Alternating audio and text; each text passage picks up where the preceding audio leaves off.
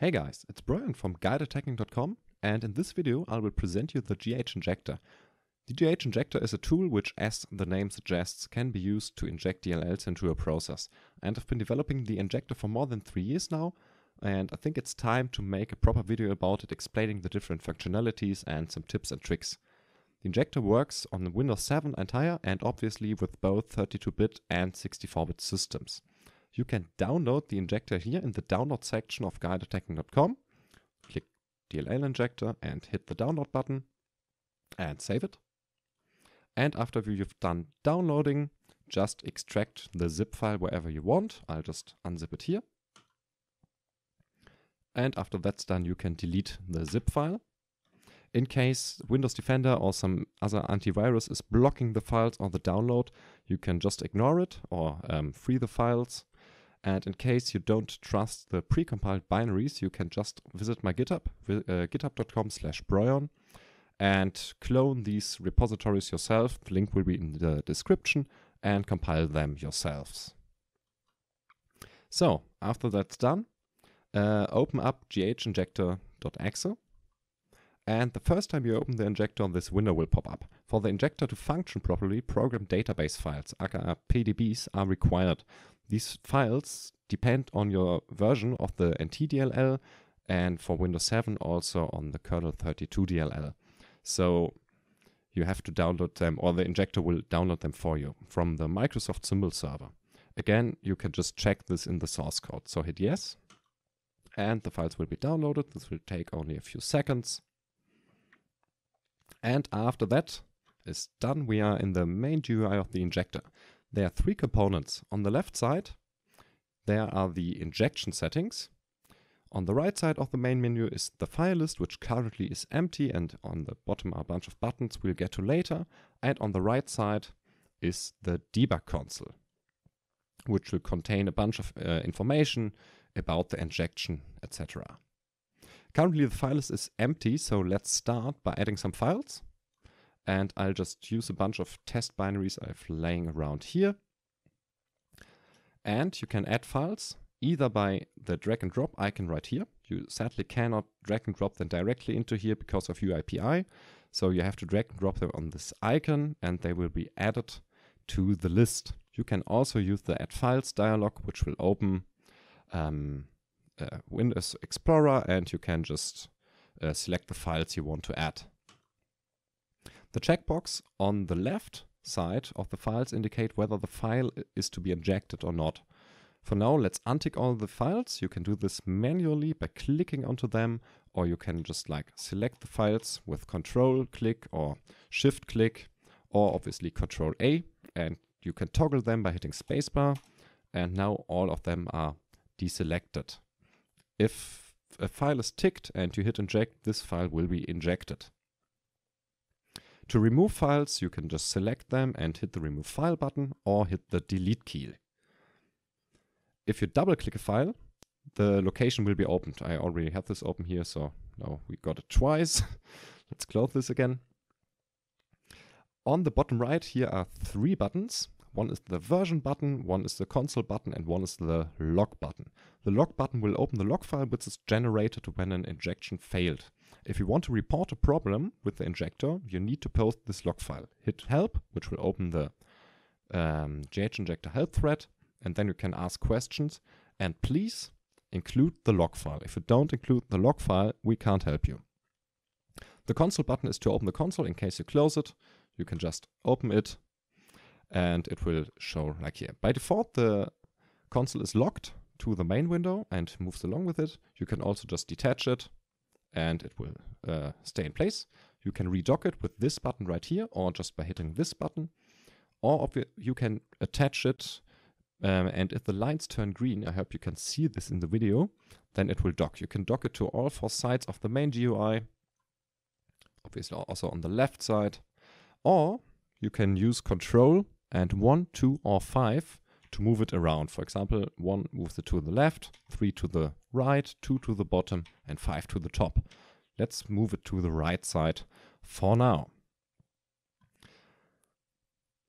Then there are tooltips enabled by default. If you hover over a control after a short period of time, a tooltip will pop up with a really quick explanation about what that control is doing. You can disable these tooltips by hitting the disable tooltip, button or re-enable it by hitting it again. We'll get to the create shortcut button a little bit later in the video. Now let's look on the left side, which is the interesting side. Let's start at the top. You can select a process either by its executable name or by process ID. You can also use the process picker by clicking select process button. The process picker shows a list of uh, basically all processes. By default, uh, only processes of the current user session are shown. You can also you can show all processes by unticking this one, and now you can see there are 185 processes running. But usually you only interact with the processes of the current session, so this is on by default. You can also filter processes by architecture. So now I only have 64-bit processors. Now I only have 68 uh, x68 processors. You can filter them by name by entering stuff into this input field. For example, if I only want the Firefox instances, I tip fire. If you want to, uh, for the sake of this tutorial, I'll be messing around with my uh, DirectX 9 test environment. I know it's absolutely beautiful. So let's find it. And here it is. And to select a process, you can either double click it, you can hit enter or space, or obviously use the select button down here. If you want to exit the process picker without selecting anything, just uh, hit the X or hit escape. So now this process is selected. As you can see, it uh, says the name right here and the PED and the architecture. And let's go to the uh, to the settings down here. There are two main things to consider here. The injection method, which is this combo box, and the launch method, which is the combo box directly below it. By default, it's set to load library XW, which is basically just regular library. The second option is LDR load DLL, which is an undocumented function that is called by load library internally. Uh, let's take a quick look at load library in Cheat Engine. I'm just attached to the Windows Explorer. And as you can see, the call from load library A is forwarded to load library XA, which then is forwarded to load library XW. And load library XW then internally calls LDR load DLL right here. So back to the main UI. And there are even more options, for example, LDR pload DLL. And LDR pload DLL is called by LDR load DLL internally. I think it's this call right here. But as you can see, there isn't like a name for this function. This is one of the reasons why the PDB file is required. These functions are not exported. And the same applies to LDR pload DLL internal, which is just another subroutine of LDR pload DLL. LDR pload DLL is only available on Windows 10 in higher, so you won't see this option if you're using Windows 7, 8 or 8.1. So why do we need these options? Well, there are some games and programs which hook load library and or uh, and LDR load DLL to pre prevent basic DLL injections. Mozilla Firefox, for example, has hooks in place. So let's take a quick detour, pun intended, and look at the scan for hooks function. Let's quickly select an instance of Firefox. If I can type properly. Now we are attached to some Firefox instance and hit the scan for hooks button. And as you can see, there are currently two hooks here, one on LDR load DLL and one on anti-map view of section. The scan for hooked function scans the process for hooks that might interfere with the injection. Then you can select the hooks and just remove them. Keep in mind that uh, this can potentially trigger an anti-cheat if it verifies its own hooks. So let's quickly switch back to the test application. You can see the processes the, the injector was attached to are remembered or you can only type the first few letters and then use the autocomplete by pressing enter. Let's quickly talk about the last injection method with the manual mapping. Instead of using the Windows loader to uh, for the relevant steps of loading a DLL, we have to do this manually And as you can see, if they are selected, a bunch of options appear. And if you don't know what you're doing, just use the default options. Um, I we ha already have a separate tutorial series on manual mapping. If you're interested in that, look at that uh, tutorial. Uh, the advantage, however, of manual mapping is that the module is way harder to detect than with the other four injection methods. The next important setting is the launch method, as I said before. In this combo box, there are six different ways to execute shellcode in a target process. By default, it's set to anti-create thread EX, which is an undocumented routine called by create thread, uh, create remote thread, etc. The advantage of this method is that it bypasses session, session separation and also allows a few cloaking techniques. If selected, you can also click the cloak thread tick box which will open four additional options down here. Hide from debugger is a simple flag pass to anti-create thread EX.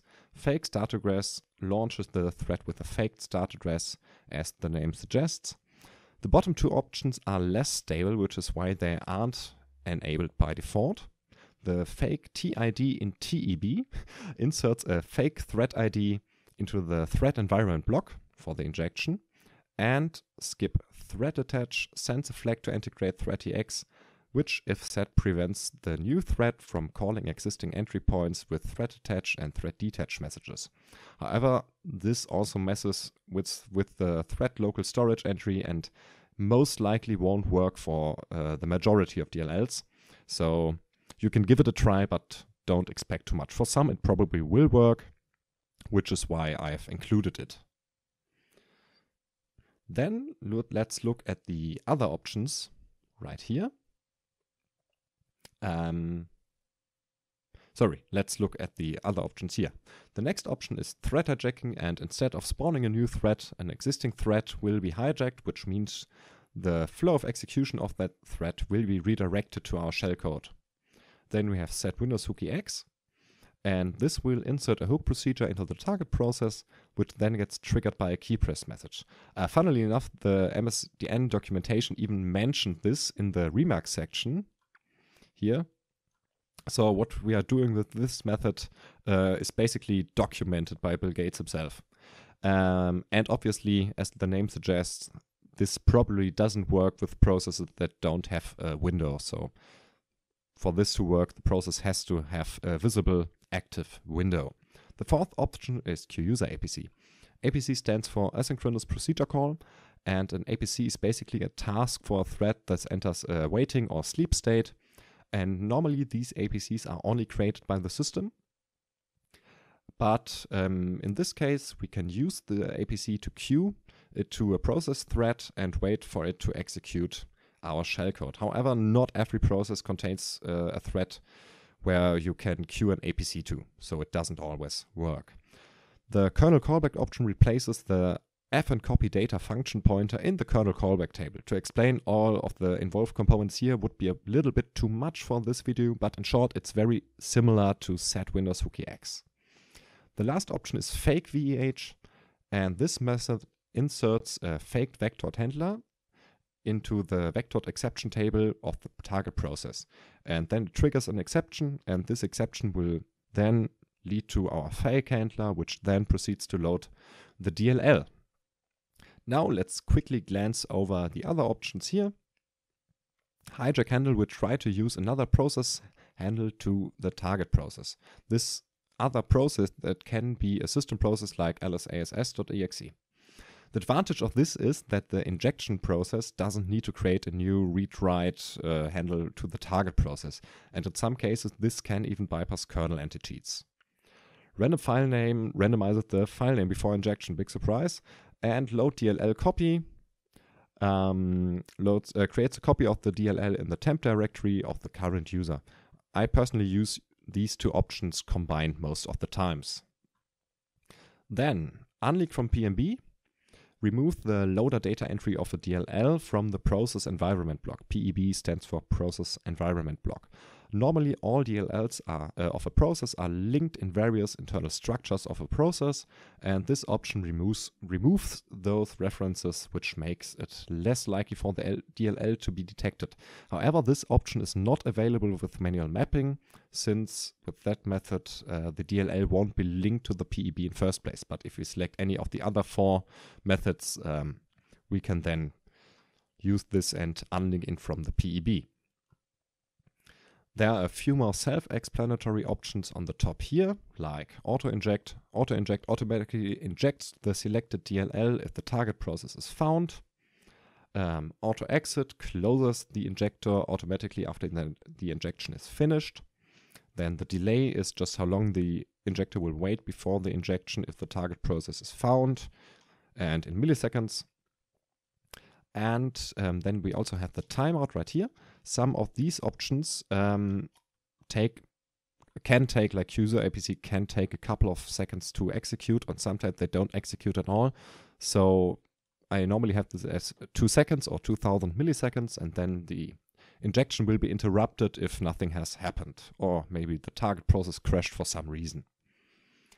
And, oh yeah, generate error log. This brings me to the error log button again. In case the injection fails, an error log will be created. And in, in case you are using hijack handle, um, sometimes it even generates multiple error logs depending on how many processes were tried to hijack a handle from. So you always want to keep this one on. And finally, the last feature is uh, the create shortcut button. Um, this can be used to automate the injection. First, you have to select your target process, method, file, etc. Let's quickly select this one. And then you can click this button and it will create a shortcut. Yeah, we want to open the file location. And as you can see, a shortcut was created. This shortcut will directly launch an instance of the injector, which will then wait for the target process and automatically inject the DLL without you having to do anything in the GUI. Keep in mind that if you move the injector or the DLL you want to inject, you have to remake the shortcut because the paths don't exist anymore. As you can see in the target, there's a bunch of stuff in the command line. All the arguments for the command line are documented on my GitHub. And the reset settings button here uh, resets all settings to the default values. As you can see, it uh, asks you whether you really want to. In this case, we don't want to. And I leave it up to you what the inject button does. Okay, I'm going to quickly demonstrate an injection of my test DLL into my test application, into my beautiful, beautiful DirectX test application. I'll be using manual mapping with the default settings, um, copy uh, DLL and random file name in combination with set Windows Hooky X. Oh, sorry, I realized I forgot this one. Um, PEH stands for Portable Executable Header, and um, you can either erase it or fake it or just keep it. And normally you can, uh, I would recommend to keep it because um, erasing or faking it can interfere with the functionality of a DLL. But obviously you can give it a try. For now, I'll just set it to keep PEH. So I've selected my target process, I've selected my DLL. These two DLLs are x68 and they are disabled. I can't enable them for this process because the target process currently set is x64. So this output is from the test application and let's see what happens. And as we can see in the debug console, a bunch of stuff has happened. And the most important one, injection succeeded, DLL loaded at this address. And in the output from the test application, we can see that 10 out of 10 tests succeeded, so the injection was successful.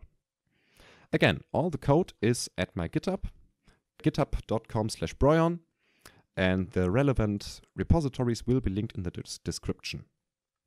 That's it for now. Make sure you subscribe to the channel. Thanks for watching and see you next time.